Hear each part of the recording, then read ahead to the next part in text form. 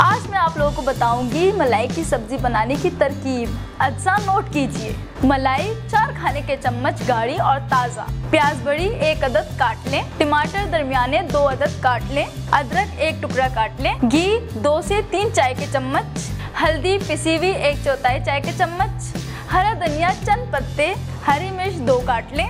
नमक हंसपे जायका। काजू आठ से दस अदद। गरम मसाला आधा चाय का चम्मच। चिली पाउडर, एक चौथाई, चाय का चम्मच लाई की सब्ज़ी बनाने के लिए अज्जा नोट कीजिए। एक पतीली में घी गरम करें और प्याज डाल उस वक्त तक फ्राई करें कि प्याज गोल्डन हो जाए। और उसमें कटे हुए टमाटर, हरी मिर्च और अदरक डाल दें। टमाटरों को गलने तक फ्राई करें। आखिर में नमक, सुर्ख मिर्च, गरम मसाला, हल्दी, काजू और मलाई डाल दें।